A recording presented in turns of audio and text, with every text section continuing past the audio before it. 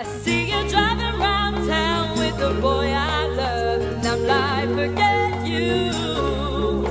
I guess the change in my pocket wasn't enough. I'm like, forget you and forget her too. I said if I was richer, still be with ya.